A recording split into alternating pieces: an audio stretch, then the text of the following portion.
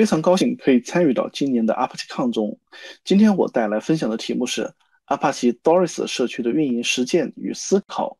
首先做一个简单的自我介绍，我叫鲁智进，之前曾就职于百度，担任百度 Doris 团队的产品和运营。在过去几年，主要负责产品内核的能力规划、开源社区的运营和推广，以及 To B 的商业化探索等等。那么今天我的分享主要会围绕着三个部分展开。第一部分是关于 Apache Doris 的基本介绍。首先，我们来介绍一下 Apache Doris。Apache Doris 是一个基于 MPP 架构的现代化。高性能和实时的分析型数据库，以极速应用的特点被人们所熟知。仅需亚秒级的响应时间，就可以返回海量数据下的查询结果。不仅可以支持一些高并发的点查询场景，也可以支持高吞吐的复杂分析场景。那么基于此，Apache Doris 可以很好的去满足一些报表分析、即时查询、统一数仓构建。数据湖、联邦查询加速等等使用场景，同时用户可以基于 Apache Doris 去构建一系列的上层数据分析的应用，例如像用户行为分析、A/B test 实验平台、日志检索分析、用户画像、订单分析等等。那么作为这样的一个分析数据库，Apache Doris 有以下几点特性。那么以上信息也是从 Apache Doris 的官网里面截取过来的。第一个特点是简单易用，因为 Apache Doris 作为一个精简架构的系统，部署的时候只有 BE 和 FE 两个进程，不依赖于任何第三方系统。例如，我们不依赖于 Zookeeper 进行分布式的管控和协调，也不依赖于 HDFS 做数据的存储。同时，集群可以在线进行扩缩容。在线升级也不影响系统业务的正常运转。同时，在升级过程中，如果说数据副本发生了问题，也会进行自动的修复。同时，我们兼容 MySQL 的协议，可以使用各类 MySQL 协议的客户端或者是一些工具，就可以连接到 Doris。同时，用户在使用 Apache Doris 的时候，可以直接使用标准的 SQL 进行查询。第二个特点是高性能。依托于 apas 高 Apache Doris 高效的列式存储引擎以及现代化现代化的 MPP 执行框架，同时我们在1.1版本也增加了全面的向量化查询引擎，再结合 Doris 本身的一些特性，例如预聚合的物化视图、数据索引的实现，在低延迟和高吞吐的查询上都达到了极致的性能。第三个特性是统一数仓，Doris 作为单一的系统，就可以同时去支持实时的在线的数据服务、交互式的数据分析以及离线数据处理的场景。通过一系列的资源隔离的策略，可以同时满足多个场景在一个系统中。第四个特性是联邦查询，Apache Doris 可以支持直接访问 Have。Iceberg 以及 Hudi 等数据湖里面的数据，而不需要进行数据的同步。同时，Apache Doris 还可以直接通过 ODBC 的协议去访问 MySQL、PostgreSQL、Oracle 等等外表，并且也可以去跟 Elasticsearch 等数据库进行联邦的数据分析。第五个特性是导入方式丰富，Apache Doris 可以支持从 HDFS 或者是从 S3 上去批量的导入数据，同时我们也可以直接去订阅卡夫卡消息队列里面的数据，也可以直接去获取到 MySQL 的 bin log 进行消费，同时我们还支持通过 HTTP 的接口进行 VP 的数据写入。那么最后一点就是生态丰富，Apache Doris 支持 Flink 和 Spark 的 connector 对 Doris 本身的数据进行读和写，同时我们也可以结合 Flink CDC 实现数据的精准接入。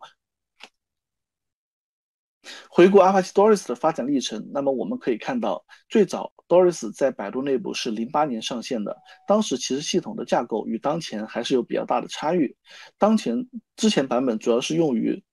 满足百度广告统计业务报表的业务场景。那么，随着百度业务的发展，我们也进行了多个版本的迭代，然后同时内部也进行了多个多个版本的升级。在二零一三年的时候，我们正式确定了 OLAP 的一个产品形态，对系统架构进行了全面的升级，引入了列式存储引擎和 MPP 的查询框架。从此 Archstoris 的前身 Palo 正式确定。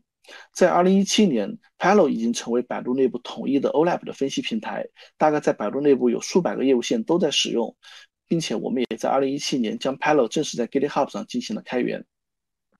在二零一八年，我们将 Palo 贡献给了阿帕奇基金会。在公在公进入阿帕奇基金会的过程中，由于与某家国外数据库厂商重名，因此我们选择用回最初的名字 Doris，然后从此就开始正式以阿帕奇 Doris 名字在阿帕奇基金会里面孵化。从二零一八年到二零二二年初，我们总共发布了七个重要的版本，也获得了美团、京东、小米等众多一线互联网公司的大规模的使用。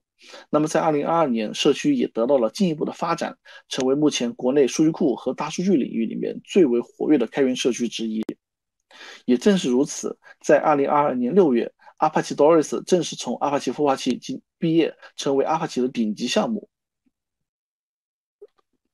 第二部分也是今天要分享的一个主要的内容：Apache Doris 社区的运营的实践与思考。那么，首先我们来看一下我们在做运营、运营社区运营的时候，我们所做的一些主要的工作有哪些？首先，我们可能会去确定一定的观测指标。那这些指标有可能根据社区发展阶段的不同而不同。例如，在一些开源项目早期的时候，我们可能希望去获取更多的种子用户。那么，随着社区的发展，我们希望社区能够更加多样性，有更多的贡献者参与进来。那么，同时我们还可能要去关注一些业界的影响力的因子，例如像 GitHub 的 star 的数量。那么，围绕这些观测的指标，我们要进行一系列动作的输出。例如，我们可能需要跟技术的同学去进行结合，比如说，我们输出一些技术文章，然后同时帮助这些技术文章可以在更广泛的、更更广的范围内进行传播和推广。那么，同时我们也需要考虑到社群的用户，然后对它进行一个协作效率的提升。例如，我们组织一系列的会议，或者说是通过各种其他的形式，把所有的社区的成员可以更好的结合在在一起。那么，同时我们可能需要去建立一个沟通的体系，例如建立微信社群，以及像 Slack 的群组，以及去各种社交媒体上维护管维教维护社交媒体的账号。那么最后就是我们要进行一系列的运营动作，例如我们可能需要去组织一系列的线上或线下的 Meetup，然后以及针对社区的用户或者是针对社区的开发者去组织一系列的活动。那么回顾这所有的这些动作，其实最核心的目标，在我自己个人看来有两个方面，第一个方面是连接，第二个方面是增长。那么增长它主要是指的两个方面，第一是用户规模的增长。第二是开发者群体的增长。那么与此同时，我们还需要去把自己的用户规模进行更大范围的一个拓展，使更多样的一个用户都可以使用到我们的开源项目中。同时，对于开发者而言，我们也需要去促进开发者的活跃，增加他在社区里面的贡献。那第二个方面就是连接，那这个连接其实也是面对社区的主要几部分成员，包括对于社区用户与用户之间的连接，开发者与开发者之间的连接，或者说是协同效率的提升，同时还有社区用户与开发者之间的一些连接。那么围绕这样的一个就围绕这样的一个思路，那么我在这个地方把是把用户增长的一个逻辑给进行了一个简单的一个梳理。首先，我们可以看一下。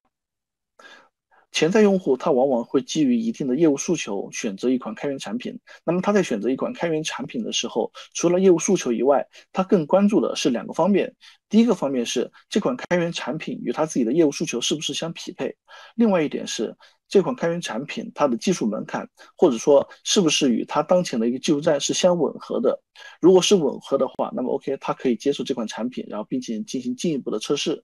然后，如果说是不吻合的话，有可能自己会去评估，在接受这款开源产品的时候，它的一个它的一个学习成本是怎么样的。那么对于开源用，对于开源社区来说，我们需要做的就是可以帮助自己的产品价值能够更好、更清晰的传达给用户。那么同时，我们也需要尽量的去把自己的技术特性进行传达出去，包括我们举行多种形式去普去普及技术，或者说是我们通过输出一些文章，或者是通过一系列的一些直播，然后以及各种课程，能够使用户可以更好的接受我们的产品。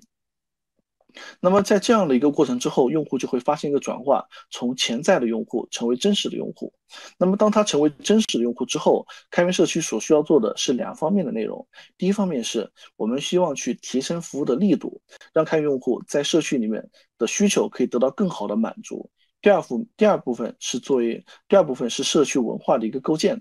通过社区文化的构建，也可以帮助社区用户可以与开源社区有更好的粘性。那么在这几步完成了之后，社区用户就会有一个自增长和自传播的一个趋势，可以使用户规模得到进一步的提升。而用户规模的提升，也是进一步帮助我们验证了产品的价值所在。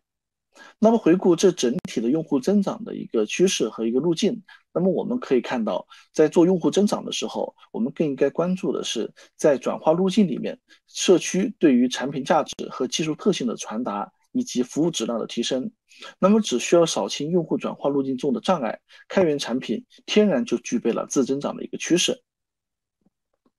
那么回顾这一整体的那个思路，我们可以看到，在做开源社区用户增长的时候，其实我们有以下几方面的工作需要做。首先，我们是需要去建立一系列的一个宣传的渠道，然后同时我们去整合可以利用的推广的资源，然后同并且我们进行一系列活动的一些策划。在活动策划过程中，我们也需要及时的去反馈，根据我们的一些观测指标，看我们的活动应该有怎么样的一个反馈的一个机制。那么确定了这几方面的基础之后，我们需要一个用户统一承载的一个空间，然后这样用户可以在这里面进行自由的沟通，并且我们对于用户提出的一些问题和需求，也需要有及时的响应。那么有些人可能是在 GitHub 上进行用户的交流，有些人可能是在 Slack 或者是微信微信群里面，这些都是可取的方式。那么与此同时，对于所有的一些工作，包括我们前期的一些技术内容的一个普适，以及我们社区活动的一些呃或者社区活动的内容的宣发，那么都需要有一个统一承载的一个空间，然后进行内容的沉淀。那么最后，在做完这一步之后，我们也需要去构建一个自由和开放的一个社区的交流体系。那么这个是用户在做用户增长的时候，我们所需要做的一些工作。那么接下来我会继续介绍开发者增长的一个思路。那么在开发者增长的时候，我们更多的关注的是它的一个内在的一个驱动力。同样，在这个地方，我也简单列了一下从用户到贡献者到社区的成员以及社区共同体，它整体的一个转化的路径。那么我们可以看一下，首先是贡献者，它主要的一个来源是社区的用户。那么，社区用户他在使用一款开源产品的时候，可能由于开源产品某一个特性不能满足自己的业务的诉求，或者是说发现开源产品有某一个 bug 所在。那这个时候，自己可能会去选择向开源社区去贡献。那么我们需要做的事情是，尽量的去降低贡献的门槛，因为很多的社区用户可能都是因为在这一步不知道如何参与到社区里面而望而却步。那么这第一步的话，我们就是需要去降低贡献的门槛，使社区的贡献的价值能够更好的被用户所传达到，并且去塑造用户从零到一对于社区的参与感。那么，当他成为贡献者以后，我们要去逐渐的加强他在社区里面的一个参与感，然后可以通过一系列的一些，比如说像个人影响力的一个塑造，然后以及一系列社区的活动，帮助他在社区里面可以进一步活跃。那他在活跃的过程中，也可以去获得技术方面的成长，然后同时也可以进一步成成为社区的一些中坚力量，比如成为社区的 PMC，最终成为社区的一个共同体。那么我们可以看到，开发者增长的一个内在的驱动力，就在于他参与开源社开源，他参与开源社区的一个动机，主要是来自于向社区贡献后所收获到的一系列的正向的反馈，以及个人因为贡献所收获到的技术的成长、影响力以及话语权。那么在用在贡献者转化的路径里面，我们更多的是需要去以运营的方式降低贡献的门槛，去提升贡献者的参与感，并且去持续的提升贡献者的影响力。那么在这个过程中，可能很多的社区都在做类类似于像类似于像那个新手任务等等一系列的一些工作。那么这些其实也是 Apache Doris 社区所在做的。回到 Apache Doris 社区，我们做了哪些工作呢？在此我只列了一部分的一些案例。首先是用户方面，目前 Apache Doris 社区已经聚集了超过七千的用户规模，这七千人分别处在接近二十个微信社群中。我们目前社区里面有一支专门的研发力量，为所有的社群用户去提供技术支持。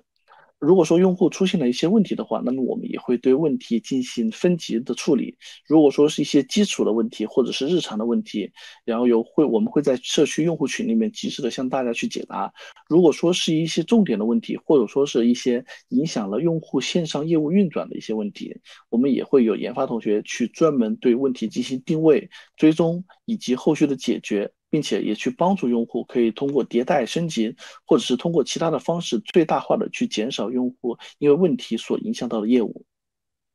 并且 Apache Doris 社区的社群是没有任何的入群门槛的。我们也希望能够把更多热爱技术和热爱开源的人都加入到我们的社群中，这样可以去构建一个自由和平等的一个社区交流的体系。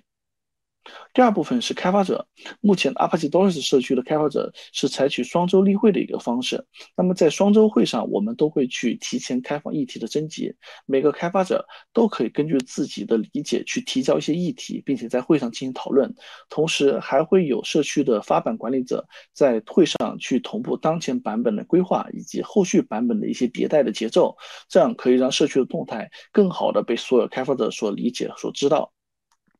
同时，我们也有一个 DSIP 的计划，每个开发者都可以就自己对系统当前的一些问题提出一些改进的建议。那么这些改进的建议也都形成了非常优质的设计的文档，帮助社区的开发者可以进一步的去获得技术上的提升。